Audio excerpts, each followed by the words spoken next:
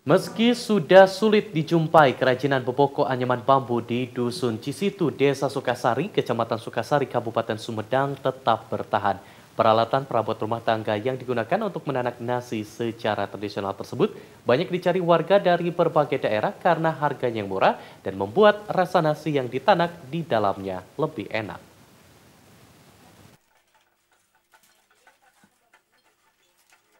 Beginilah suasana warga Dusun Cisitu, Desa Sukasari, Kecamatan Sukasari, Kabupaten Sumedang saat mengerjakan pesanan berbagai macam peralatan dapur dari bahan bambu.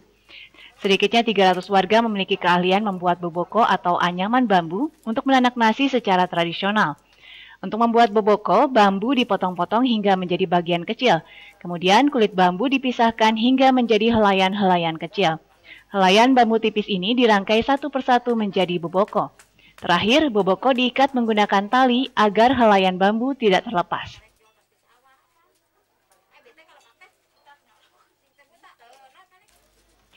Dalam sehari, warga Dusun Cisitu membuat puluhan boboko. Tak hanya boboko, warga juga piawai membuat nyiru, tolombong, cecempeh, asepan, dan hihit yang juga terbuat dari bambu. Semua alat ini digunakan untuk membersihkan padi, mencuci beras, hingga menanak nasi. Dibutuhkan waktu satu jam untuk membuat setiap alat rumah tangga. Satu alat rumah tangga yang terbuat dari bambu dijual mulai dari Rp10.000 bergantung pada ukurannya. Selain di bulan Ramadan, aneka peralatan rumah tangga dari bambu ini juga diburu pasca panen oleh para petani. Ini kalau tahunya itu dari zaman nenek moyang dahulu juga ini udah bikin. Jadi ini kerajinan ini turun-temurun deh. Jenisnya ada boboko, ada telombong, ada nyeru, secempe banyak sih. Ada asupan juga ada hihit gitu. Harganya ini tergantung ukurannya. Rata-rata 10.000 per potong.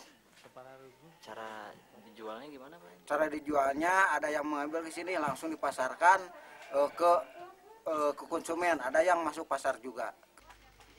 Hasil kerajinan warga dipasarkan dengan cara dipikul berjalan kaki ke berbagai daerah di Jawa Barat, seperti Rancaekek, Majalaya, Paseh, Kabupaten Bandung Barat. Kerajinan berbahan baku bambu ini sudah turun-temurun menjadi sumber mata pencaharian warga Dusun Cisitu. Meski kini sudah banyak peralatan rumah tangga dari tembaga, warga Cisitu tetap optimis boboko dan anyaman bambu lainnya tetap diminati. Diki Darusman, Bandung TV